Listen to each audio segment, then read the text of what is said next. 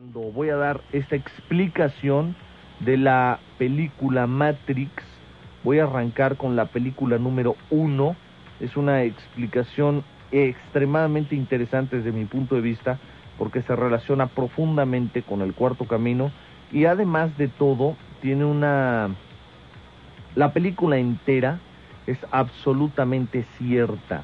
No crea usted que son puros efectos especiales a lo loco Realmente es una película extraordinaria, señala exactamente todo lo que ocurre en el despertar de la conciencia de un ser humano. Por eso la misma película abre así, diciéndole a Neo, despierta. El mismísimo nombre Neo significa nuevo, lo nuevo, el despertar. En fin, es, es extremadamente interesante. Y bueno, ya nada más para cerrar el día de hoy, le comento algo de la significación de la vida. En la vida hay dos razones por las cuales hace la gente las cosas. La gente hace todas las cosas solamente por tres, obtener tres frutos, tres placeres, que se llaman sexo, poder y dinero. Y nadie, no hay una sola persona que me esté escuchando ahorita que no haga las cosas por una de estas tres.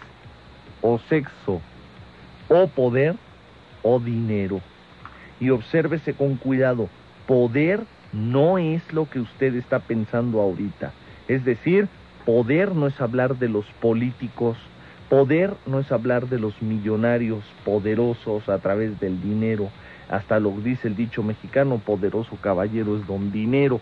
No es en ese sentido. El placer de poder es lo que siente la gente cuando, por ejemplo, mete un gol, está jugando fútbol con algunas amistades y mete un gol. En el momento que la persona dispara el balón y mete el gol, en ese momento exactamente siente un placer de haberlo logrado. Es decir, pude meter gol. Ese es un placer de poder. El placer que usted siente de poder meter el gol es a través del poder.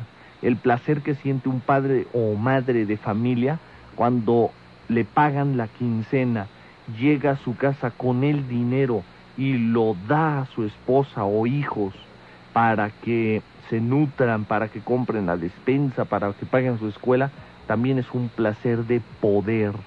Entonces, el sentido que usted le está dando a su vida generalmente se inclina por uno de esos tres hay que tener cuidado porque hay otra clase de placer extremadamente superior y muchísimo más valioso.